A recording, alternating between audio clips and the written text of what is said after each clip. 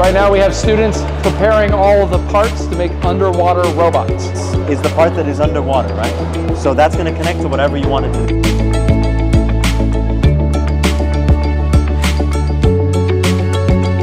Like uh, we're securing it. And then for motor, like we're putting motors. And then for we're going to pass it to someone else and Ora Hoche, like continue Corvette.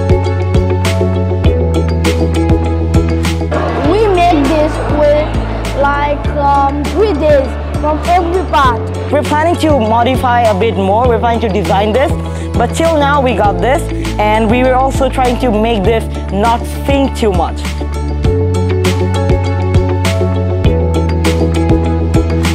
The teachers also helped us, especially Mr. Chris, Christian, Alia, literally all the MIT faculty, everyone that came, they were very, very helpful.